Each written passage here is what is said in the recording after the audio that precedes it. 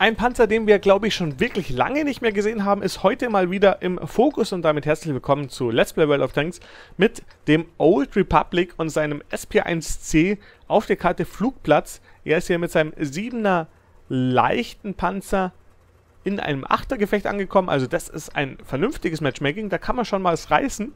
Jetzt schauen wir nochmal, wie viel man damit reißen kann. Dieses unglaublich kleine Gefährt, das also gerade im Vergleich, wenn es irgendwie so neben dem Japaner Heavy steht, so mini wirkt, ist schon unglaublich. Mit einem äh, Dreier-Magazin. Gerade den Panzer haben viele nicht auf der Agenda, deswegen gucken wir hier nochmal die Durchschlagswerte an. 180 mit Normal, 250 mit Premium, in dem Fall Heat und, naja, 45 mit HE. Aber ich denke mal, Normal sowie Premium Heat ist dann da das Spannendste. Und jetzt will er erstmal wohl die Mitte beackern und fährt dementsprechend hier Richtung Mitte und schaut, was er da so reißen kann. Schöner Effekt einfach hier durchs Wasser mit dieser kleinen Bugwelle. Da wartet auch schon Panther auf Gegner und er wird natürlich sich da gern ein Stück vom Kuchen abschneiden, sofern denn da was kommt. Der Panther wurde schon hier getrackt, also man sieht zumindest Gegner schauen hier schon drauf. Er ist auch selber schon offen. Gegner hat keine Arti, das ist sein Glück. Das heißt, er kann hier auch trotzdem weiterstehen, ohne dass er hier was befürchten muss.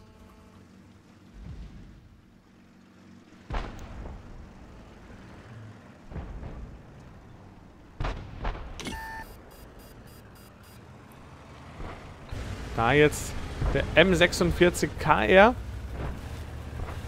Vielleicht kriegt er den schon rein. Ja, uh, sehr schöner Snapshot. Kurz geaimt und zack, drauf. Der zweite, der ging daneben. Und jetzt zieht er sich zurück, bevor er einen kassieren muss, weil auch der T32 ist da schon gefährlich nahe.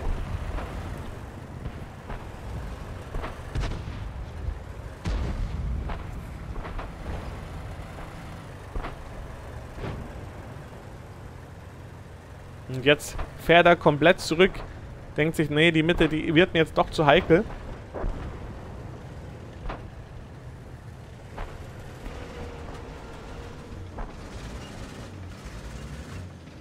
Aber auf keinen kommt er da jetzt gerade gut drauf.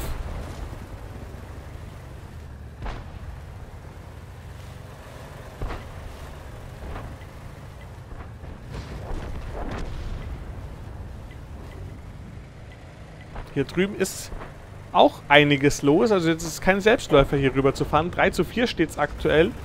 Also da ist noch alles offen. Ganz im Gegenteil, 3 zu 5. Also geht sogar Richtung des Gegners Hand. Da kommt er auf die Su drauf. Erster Schuss. Klappt nicht. Zweiter Schuss. Klappt auch nicht. Und jetzt ist er offen, jetzt zieht er sich zurück. Aber auch der letzte Schuss, also keinen durchschlagen, das ist ärgerlich. 3 zu 7, naja gut 4 zu 7, also es ist schon ganz klar, dass hier der Gegner aktuell die Nase vorne hat.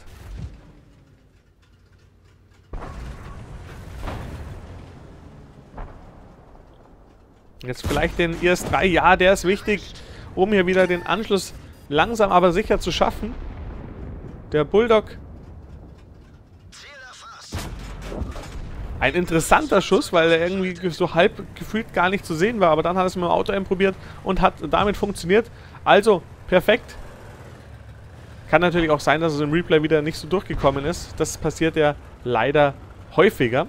Jetzt nimmt er sich die erhöhte Position, wo er dann hier wirken kann, auf den KR. Erster Schuss sitzt gleich. Zweiter geht daneben. Und jetzt hat er daneben sich auch noch einen Mage stehen.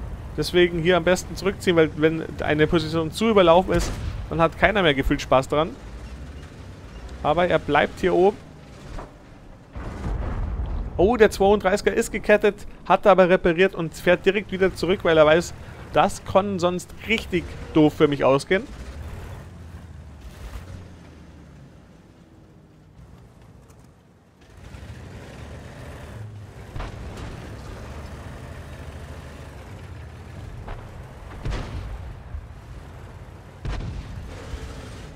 Jetzt hier der 29er. Zweiter Hit sitzt, aber kann ihn nicht mehr ketten. Aber das ist nicht so wild, weil er kriegt alle drei Schuss ins Ziel.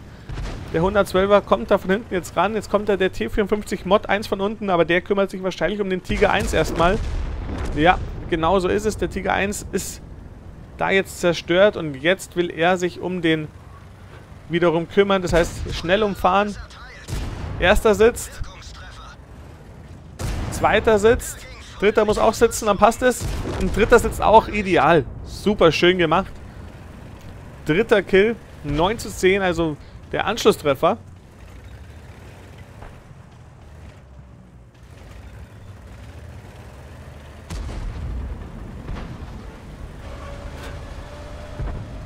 Und hier der Jisu, da hat er kurz einen Prozess gemacht und es steht wieder Gleichstand. 10 zu 10.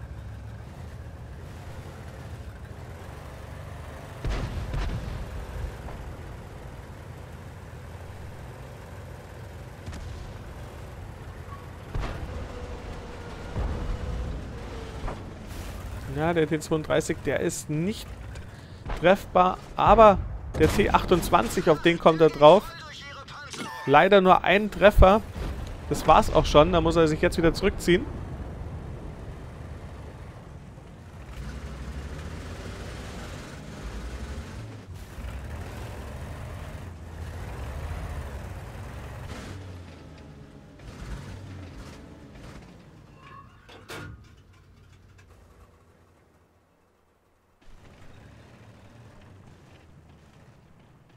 So, jetzt lässt er sich hier droppen. Will vielleicht sich den T28 da zur Brust nehmen. Aber wo ist der hin? Weil, ah, der steht da in der Kuhle. Der konzentriert sich jetzt auf den 112er. Das heißt, er kann jetzt hier den seitlich nehmen. Erster Treffer, zweiter Treffer und wieder weg. Perfekt gemacht. Und da kommt der T32. Da muss er natürlich jetzt weg, aber alles gut gegangen.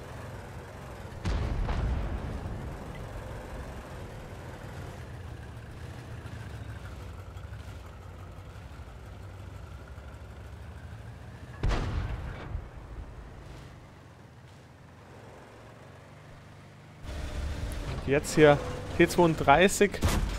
Der erste Schuss. Ah, er hat verschossen. Das heißt, er kann jetzt hier noch locker beide Schuss ins Ziel bringen. Und die Hellcat hat hier den Kill gemacht. Aber am Ende ist es egal, wer den Kill macht.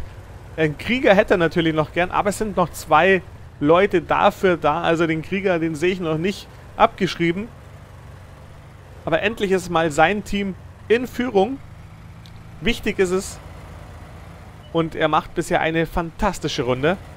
Da der sture Emil, auf den kommt er hier nicht drauf. Wäre vielleicht auch gut zu wissen, wo ist denn noch der M6?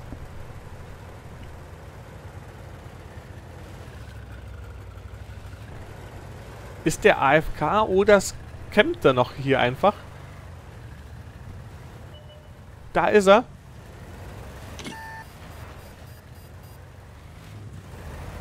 Der hat sich wie hat er denn das geschafft, bitte?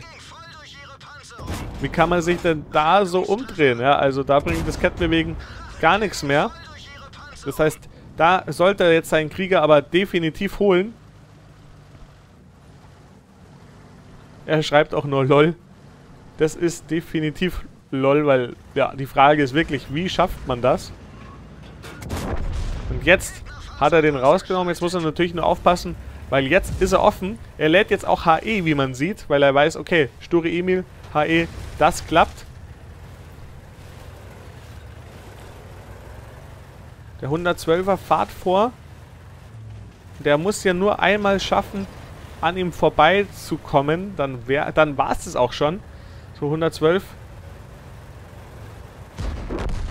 hat jetzt den Schuss von sich gefangen und jetzt muss er nur noch neben ihn kommen und dann war es das. Dann ist das Thema durch. Jetzt macht der Sture Emil das zwar genau richtig.